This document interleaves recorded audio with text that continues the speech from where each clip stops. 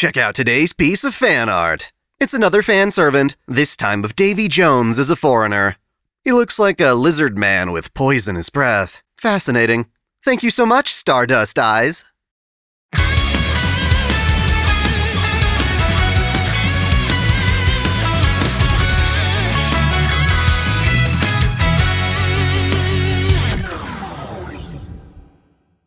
Welcome back to Otaku Daikun. Dai here.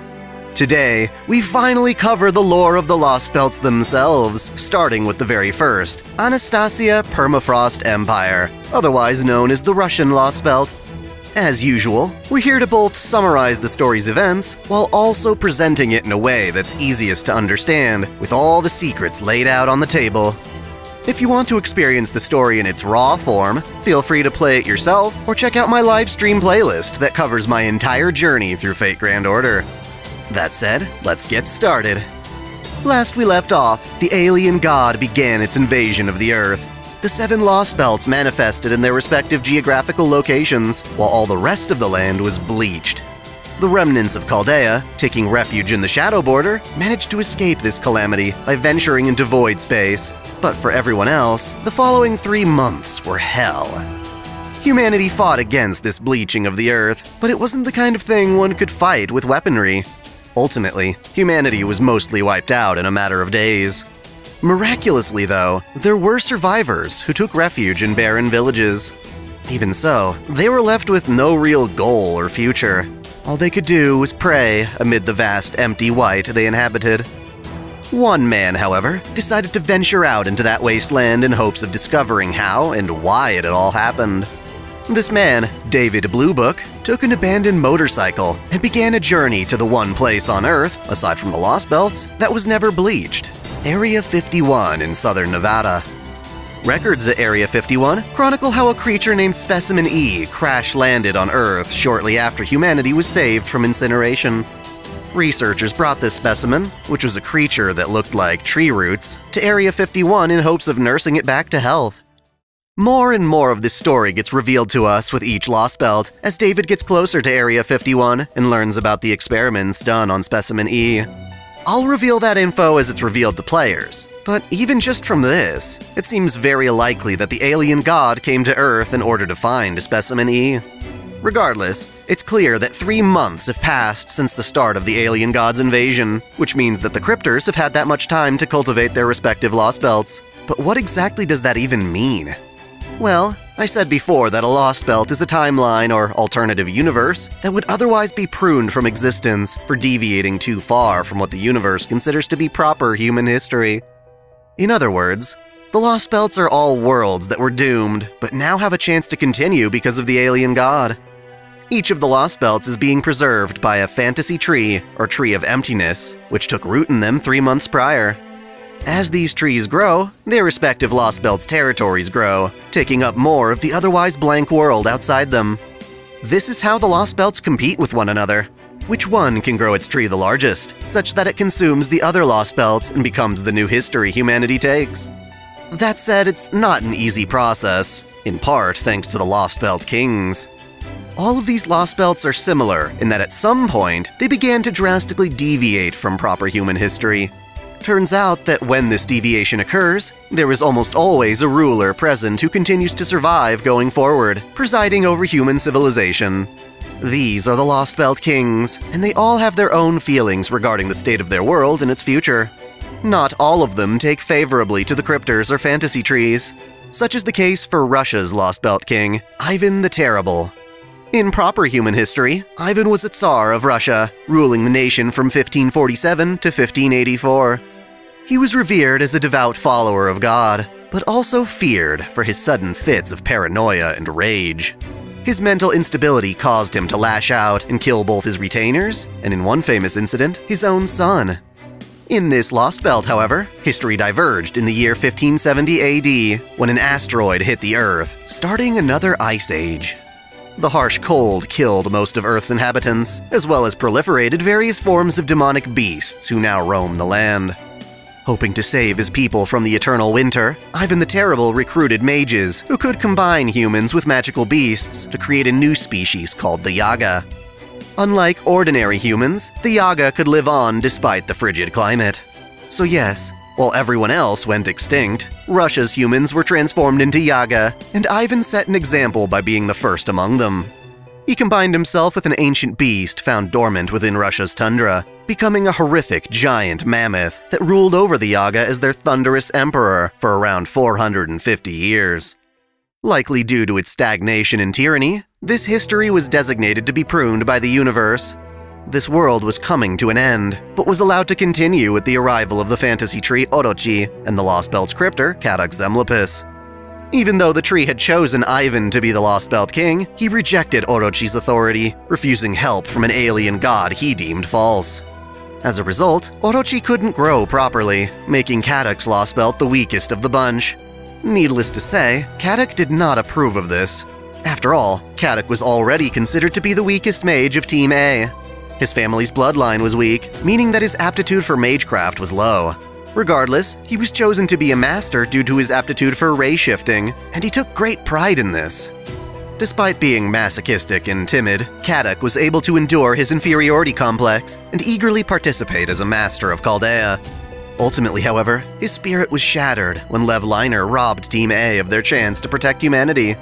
He was infuriated to find out that, instead of himself, a pathetic rookie mage got to save the world. Thus, Kadoc performs his duties as a cryptor, in part to prove to himself he could have done a better job than Ritsuka. It's kinda lame, really, hoping to destroy humanity because he was denied his chance to save it. Of course, the other factor pushing him forward were his feelings for his servant Anastasia, Oddly enough, Russia has at least two famous Anastasias. One, conveniently, was Ivan the Terrible's wife. The other, of course, was Anastasia Nikolaevna Romanova, daughter of Nikolai II, the last Tsar of the Russian Empire. She is famous for accounts of the Russian revolutions that brought herself and her family to death by firing squad.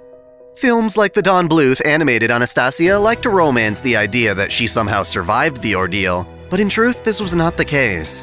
Instead, she was executed. But just before her death, she attained the ability to form a contract with Viy, a spiritual monster utilized by the Russian Empire. Thus, when summoned as a caster servant, Anastasia can rely on Viy's mystic eyes to dye her enemies in blood and manipulate ice. Being such a tragic figure, she doesn't open up much to others easily, but when she does, she can be quite caring and playful. As such, she begins to care about Kadoc dearly, the two of them together decide that if Ivan won't support the fantasy tree, they will have to overthrow his rule and establish Anastasia as the rightful king of the Lost Belt. That said, Ivan's a terrifying mammoth, and killing him wouldn't be so easy. Thankfully, they didn't have to. Ivan's initial attempt to restrain the fantasy tree exhausted him, putting him into a deep slumber this activated his noble phantasm, Chornij Oprichniki, conjuring an army of his royal guards, the Oprichniki, or Black Dog Corps. While Ivan was asleep, Anastasia could control the Oprichniki while pretending to be his wife. To help legitimize this facade, Kadoc and Anastasia received help from Rasputin Kirei, you know, the son of a bitch who killed Da Vinci. I mentioned in the previous video that he's an agent of the alien god, a pseudo-servant summoned with the spirit of Grigory Rasputin inside the body of Kirei Kotomine, who had presumably died in 2004. In proper human history, Rasputin was a self-proclaimed holy man, cherished by Anastasia's family after presumably curing the Tsar's son Alexei of hemophilia. While the royal family treated him well, the people began to accuse him of heresy and adultery with the Tsar's children. True or not, these accusations painted the Romanov dynasty poorly, and many blamed him for Russia's decline. In other words, Rasputin played a key part in the collapse of the Romanov dynasty, which included Anastasia's death. As a servant, he serves the alien god, but his ultimate goal is to see Anastasia take over as the Russian Lost Belt Tsar. If he can accomplish this, he has no problem giving up control of his body to Kirei. In order to fool Ivan the Terrible, as well as Anastasia, Rasputin refers to himself as Ivan's mentor, Metropolitan Macarius. This helps pacify Ivan when he awakens, but to keep him asleep for as long as possible, Rasputin sought help from a different servant. Wolfgang Amadeus Mozart, whom we introduced way back in Orleans, was summoned into this lost belt as part of the counterforce's last cry for help. In life, he was a prodigious music composer, whose works are some of the most famous in history. His noble phantasm, Requiem for Death, was capable of putting Ivan the Terrible to sleep, and so he was brought to the royal palace to perform continuously. He played his piece for two months straight, but asking a servant to deploy a noble phantasm for that long is kinda ridiculous. He knew his spirit origin wasn't up to the task, but thankfully he knew he could pass the torch to his good friend Antonio Salieri. I say this somewhat sarcastically, because while in life Salieri and Mozart were friends, their relationship was strained by baseless rumors that overshadow the truth. Salieri was a renowned operatic composer in Vienna, and while he was certainly impressed and inspired by Mozart's own compositions, the two remained respectable peers. Salieri even taught both Mozart's protege and son. In 1820, however, a legend emerged claiming Salieri, out of envy and incompetence, had murdered Mozart in an attempt to stay relevant. Whether through poison or psychological manipulation, people began to believe Salieri pushed Mozart to his untimely grave, despite Salieri's own denial. Well, in fate, even baseless rumors have power so long as they're famous enough. In Salieri's case, as a servant, he manifests as an innocent monster, an anti hero who derives strength from his sullied reputation.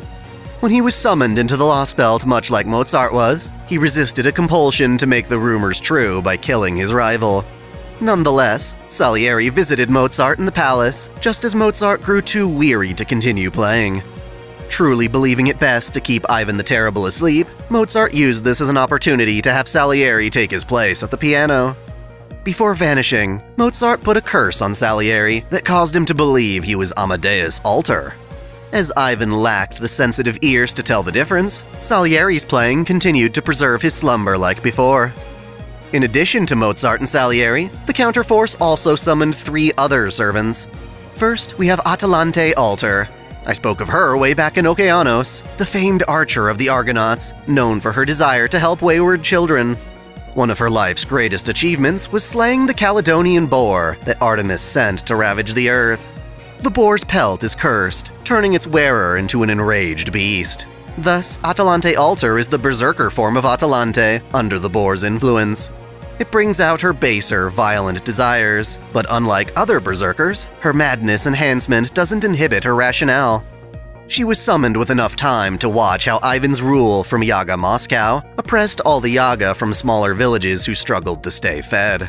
These villages had to pay a tax to Moscow in the form of food, giving up the demonic beasts they hunted even as their numbers dwindled. Hoping to liberate these Yaga, Atalante Alter formed a rebellion against Ivan, fighting against the Oprichniki for three months. Then we have Billy the Kid, the juvenile outlaw of the American Wild West, known for killing 21 people by his 21st birthday. He was summoned alongside Beowulf, the king from the famous epic poem in which he slayed the giant Grendel and battled against a fire breathing dragon. While we encountered both of them before in the American singularity, the ones here in Russia are different incarnations from those recorded in Chaldea's spirit graph. During those first three months, they wound up protecting a band of male Yaga, some of who eventually rejected their help and became bandits instead. The last factor in this lost belt is Miyamoto Musashi.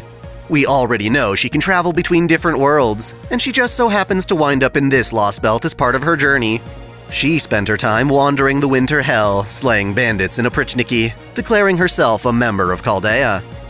With all that said, let's summarize everything once more. The Russian Lost Belt came as the result of a timeline in which the Earth was thrown into an eternal winter.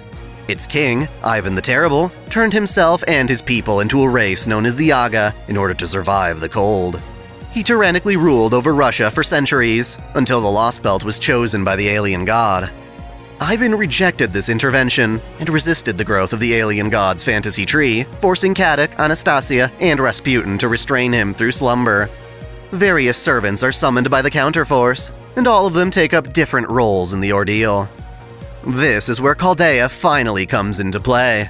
Our initial jump into void space caused damage to the Shadow Border's armor, preventing us from performing another zero sail.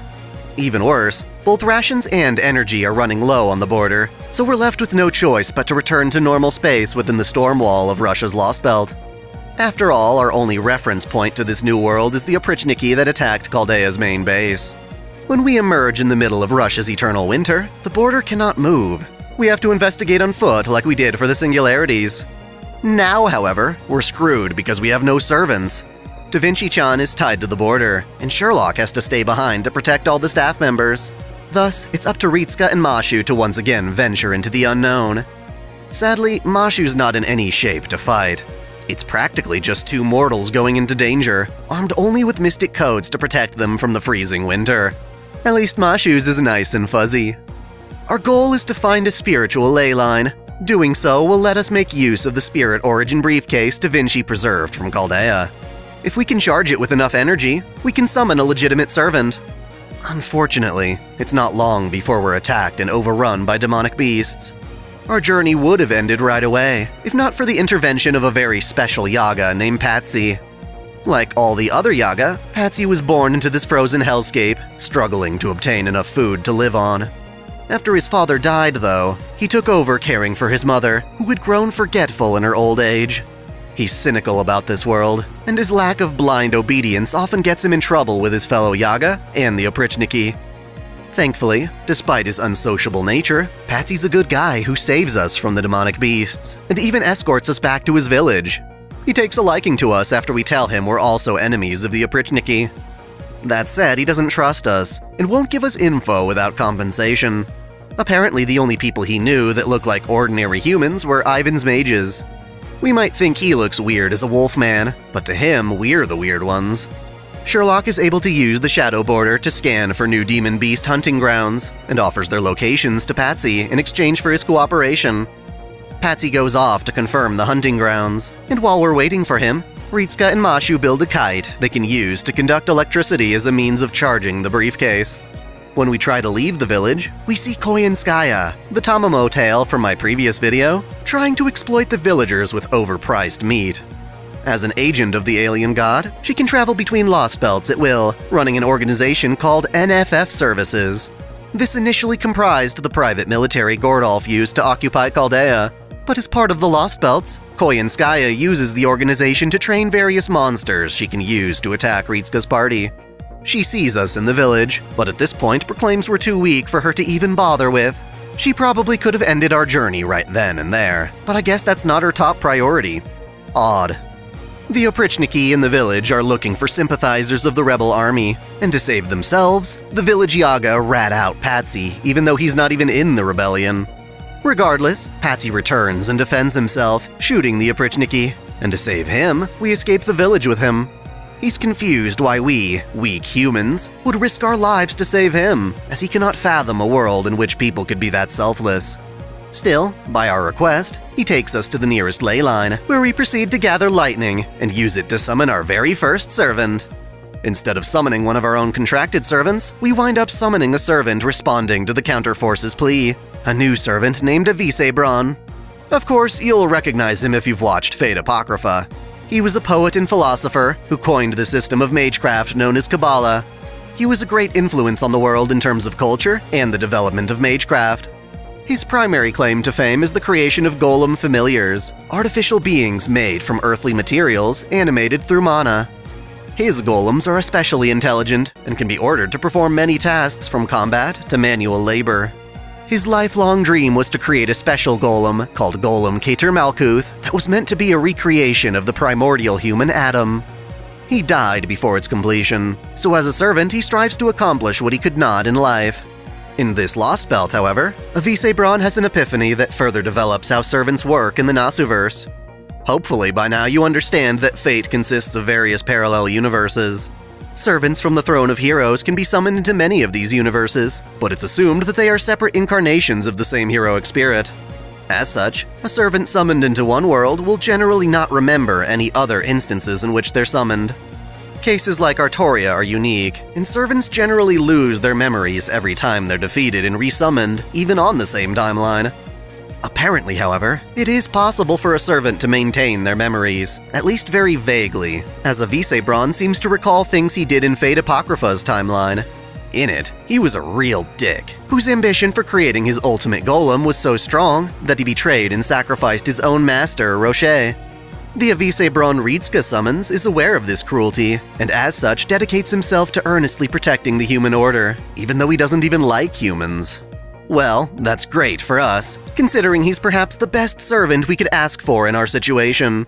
Thanks to his patented Flex Golem, He can solve practically every one of our problems with the golems he creates.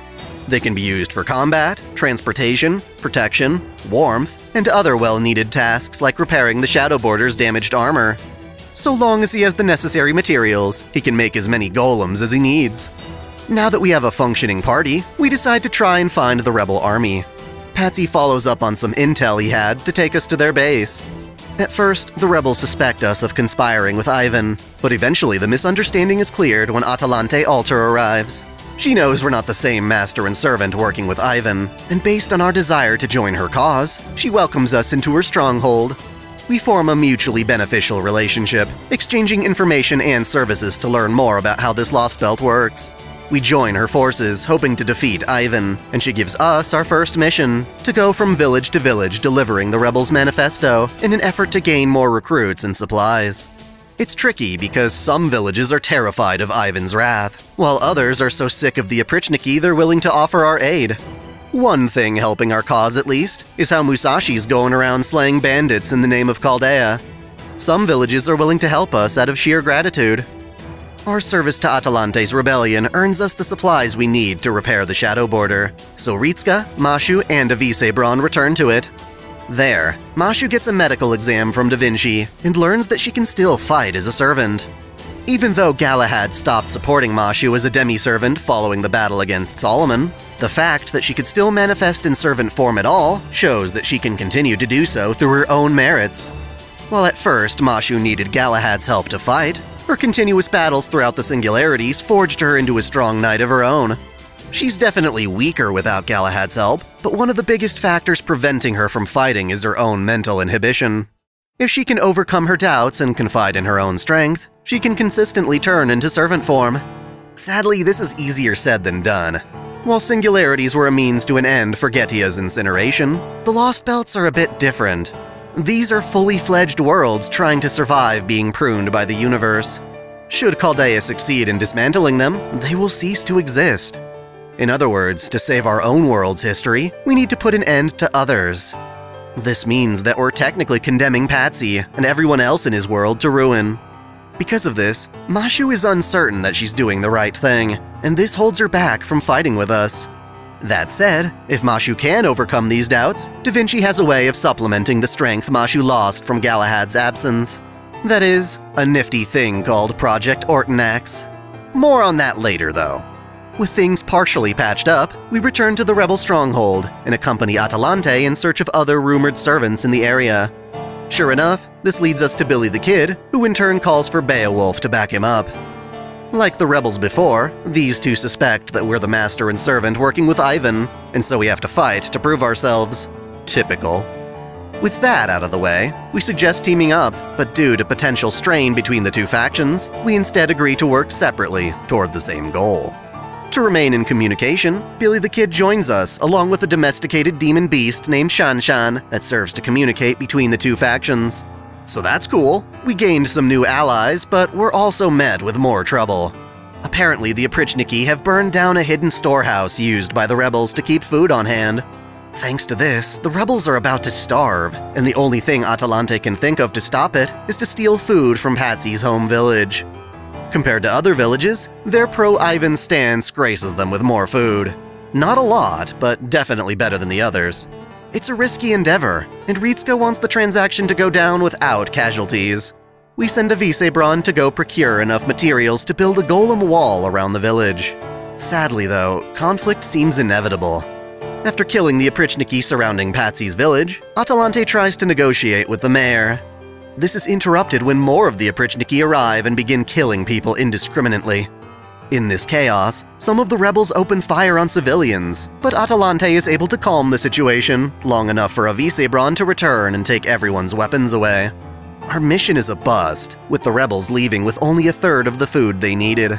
What's worse is that Patxi, upon returning to his village, finds out that the villagers stoned his mother to death. He blames his absence in joining the rebels for his mother's death and becomes a deserter. Meanwhile, at Yaga Moscow, Kadoc gets a visit from one of Kirschtaria's servants, Caenis. She's supposed to check on the Lost Belt, but instead pretty much just taunts Kadoc. Since she doesn't really interfere in any meaningful way, I'll spare discussing her until she's more relevant. In response to the rebellion's recent actions, Rasputin has Salieri, aka Amadeus Alter, attack the party. At Yaga Tula, we encounter Salieri, believing him to be Mozart, but discover the truth after Billy shoots his mask off. Salieri gets knocked out during our fight, after which Kadoc arrives in the village with Anastasia and a squad of the Oprichniki. Mashu tries to reason with Kadoc, but instead learns about his disdain for Ritsuka. We're back to fighting, and Anastasia is able to use her noble phantasm, Viy Viy Viy, to destroy Avicebron's golems. We're outmatched, but thankfully Salieri wakes up and comes to his senses. Thinking Kadoc and Anastasia had brainwashed him, Salieri lashes out with his noble phantasm, Dio Santissimo Misericordia di me. This balances Anastasia's assault, allowing Avicebron to fight back with some newly created snow golems. This buys us enough time to escape with Salieri in tow. While Salieri has regained his identity, he does not recall how he came to be controlled in the first place. He joins us under the condition that we let him kill Mozart, which is fine considering Mozart's already dead. We reunite with Atalante's rebellion and help her build a new stronghold that's closer to Yaga Moscow. Nearby is a cave abundant with ore, jewels, and other golem materials. Avicebron creams his jeans before declaring he can easily complete the Shadow Border's repairs with his new salvage. We assure Atalante that even if we fix the border, we still intend to fight Ivan. Of course, we don't tell her we plan to completely dismantle the Lost Belt. Salieri stays at the new base, while the rest of Ritsuka's party returns to the border to complete repairs. Meanwhile, Patxi, after abandoning the rebellion, is captured by Rasputin and taken to Yaga Moscow to see Ivan in person. Upon seeing how ridiculously huge Ivan is in his mammoth form, Patxi reasonably decides that failure is inevitable and cooperates by telling Rasputin the location of the rebel stronghold. In response, Rasputin launches a surprise attack on the stronghold, accompanied by another summoned servant as his means of assault, Minotauros. The Minotaur, also known as Asterios, was first introduced during Okeanos as the monster of the labyrinth, born with the body of a man and the head of an ox. Asterios had a sense of compassion, recognized by the Gorgon's sister Euryale. Here, however, he is made into even more of a monster that proceeds to decimate the rebels. Rasputin's attack manages to overpower both Salieri and Atalante, using children as hostages to take them captive at Yaga Moscow, but not before Salieri sends Shanshan to Ritsuka with news of the assault. Hearing what had happened, Ritsuka's party rushes back to the stronghold to find only half of the rebels. It is, of course, a trap. Minotauros uses his noble phantasm, Chaos Labyrinthos, to separate the party within the labyrinth. Kadoc takes this as a chance to talk privately with Avicebron, hoping to coax him into becoming an ally. Kadoc offers him all the materials needed to construct Golem Keter Malkuth, and he agrees to the deal. Similarly, Kadoc seeks an audience with the captive Salieri and Atalante. He reveals that while Chaldea seeks to defeat Ivan, they're also out to dismantle the entire Lost Belt. He explains that if Atalante truly wants to liberate the Yaga, then Chaldea is ultimately her enemy, as such, Kadoc gains Atalante's cooperation. Back in the labyrinth, we meet up with Patxi, who was discarded after ratting out the rebels. Billy don't take kindly to traitors, but we still forgive Patxi, understanding why he did it. In turn, Patxi is once again blindsided by Ritsuka's kindness. Compared to himself, Ritsuka is weak, lacking the fur, keen senses, and physical strength needed to survive in this hellish winter. And yet Ritsuka still presses on in the face of adversity with a smile. He can hardly believe there exists another world in which the sky is blue and pleasant, and its residents can more or less live carefree. Their interaction is interrupted by the Oprichniki, and while we still have Billy to fight for us, we find an extra ally in Musashi, who just so happens to also be trapped in the labyrinth. Yay! Patxi's sense of hearing helps us find the labyrinth's exit, and outside, we meet up with Beowulf's forces. Together, we get the idea to awaken Ivan, as doing so will get rid of the Oprichniki. They only exist in his dreams, after all.